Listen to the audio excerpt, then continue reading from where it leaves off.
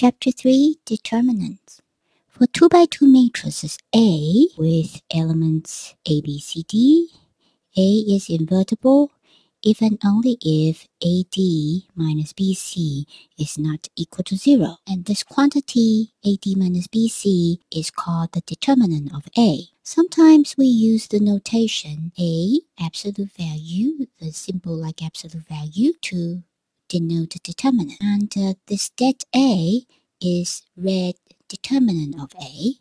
Why is it called determinant of A?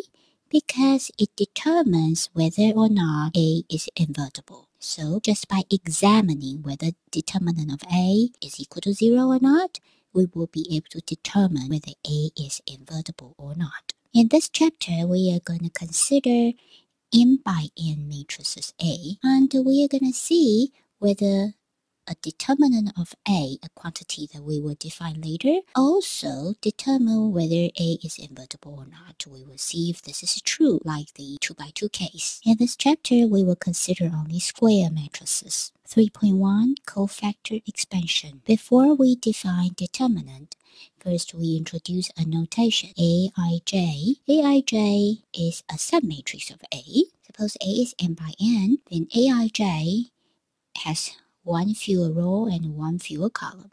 It's n minus 1 by n minus 1. How is it obtained by A? From A, we obtained Aij by deleting the ith row and the jth column from A. After we delete one row and one column, we the, size will become n minus 1 by n minus 1. For example, this is A matrix 1, 2, 3, 4, 5, 6, 7, 8, 9. The submatrix A 1, 2 is obtained by deleting the first row and the second column. The remaining submatrix 4, 6, 7, 9 is the submatrix A12. Now let us define the determinant of a matrix A n by n with n larger or equal to 3. The determinant of A, we use the notation that A is defined as determinant A11, big A11, the submatrix A11 plus A12 and uh, minus that big A12 all the way to A1n minus 1 n plus 1 that A1n. To simplify the notation, we define the cofactor Cij. Cij is defined as that Aij with additional factor minus 1 raised to the power i plus j. Now this one would be C11, this one C12, all the way to C1n. Then we can write the det determinant of A in a simpler manner.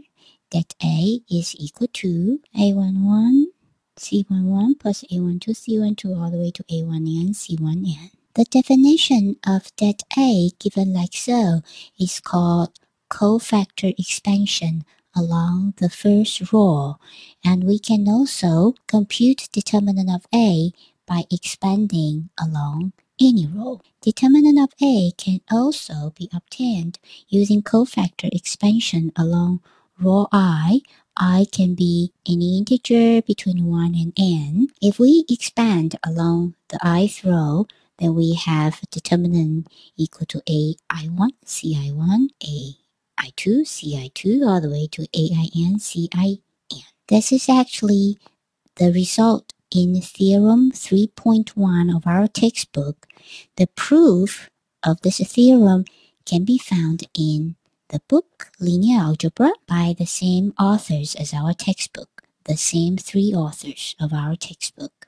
As an example, let's consider this A matrix and uh, let's compute that A by cofactor expansion along the first row. Then we have a A11, C11, A12, C12, A13, C13, A11 is 1, A12 is 2, A13 is 3, and uh, C11 would be the determinant of erasing the first row and the first column. So we have the submatrix 5, 6, 9, 8, the determinant of 5, 6, 9, 8. Similarly, we can compute Um, we have A1, 2, that is 2 and 3, and we can compute C1, 2. C1, 2 will be minus, and uh, 4, 6, 7, 8. And similarly, we can have A1, 3 and C1, 3 we can verify that the result is equal to 9. Or we can consider cofactor expansion along the second row. Then we have this one and this one and this one. So we put down A1, 2 here, A, A21, A21, which is 4. So we put down 4 here. And C1, 2, C1, 2, we would have determinant of the remaining submatrix 2, 3, 9, 8 and we also have the factor minus 1, 2 plus 1 at the front. So this is, we get this minus 1 here. Similarly, we have other terms. We can verify that the result is the same, equal to 9. Let's ask a question. Suppose this A matrix has a zero row. So it has one row that's equal to 0, 0, 0, 0. Okay, it's n by n. What does this say about the determinant of A? Pause and think about this. Can we determine of A in this case? Indeed we can, right? If we just expand, we have cofactor expansion along the this zero row, then we get a zero. Definition. A is n by n matrix we say A is upper triangular or we say it's an upper triangular matrix if the entries of A is equal to 0 whenever I is larger than J. And we say A is a lower triangular if Lij is, is equal to 0 for I smaller than J. For example, we have this B matrix here.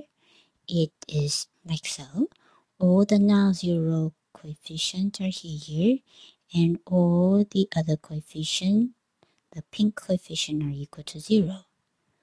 So what kind of matrix is B? Upper triangular or lower triangular? Pause and think. The lower half correspond to the case that I is larger than J, right? So this is an upper triangular matrix. And why is it upper triangular? Because the non-zero coefficient is like this and all the other coefficient at the lower half is are equal to zero. Why do we talk about upper triangular and lower triangular matrices all in a sudden? Aren't we in the discussion of determinants? That's right because these type of matrices have a very special property when it comes to determinant. Let's consider the determinant for this B matrix here. If we want to do cofactor expansion, and we can freely choose any one of the four rows, right? Which row do you think would be a good idea to start with? The first one, the second one, the third one, or the last one? The last one seems to be a good idea, right? all the other all the other entries are equal to zero only this four is non-zero so if we start from this row we will only have one non-zero term so let's do that if we have cofactor expansion along the last row then we have a 4 here and minus 1 4 plus 4 and determinant the rest the remaining matrix will be 3 4 7 0 2009. If we want to compute the determinant for such a submatrix, which row do you think would be a good idea to choose? Again, the last row, right? Because here we have a up triangular matrix again. If we do cofactor expansion along the last row, then we would have this 9 here and uh, minus 1, 3 plus 3. This one has gone away because it's equal to 1. And the determinant of the rest it's 3408. And now we can easily compute the determinant because we are down to size 2. So the determinant will be the product 4983. And what is the product 4983? It's exactly the product of the diagonal element. Now, a question. Is this true for a n by n matrix in general. Suppose we are given an n by n matrix B, it's upper triangular. Is it always true that the determinant of B is the product of the diagonal element? It's always true, isn't it? Because we can always do cofactor expansion along the last row and pull out the last diagonal element and eventually we will get the product of the diagonal element. How about the lower triangular case? Is this true also for the lower triangular case? When B is a lower triangular n by n matrix, then determinant of B is equal to the product of the diagonal elements. We can verify that it's also true for lower triangular matrices. So for lower triangular and upper triangular matrices, the determinant can be very easily computed.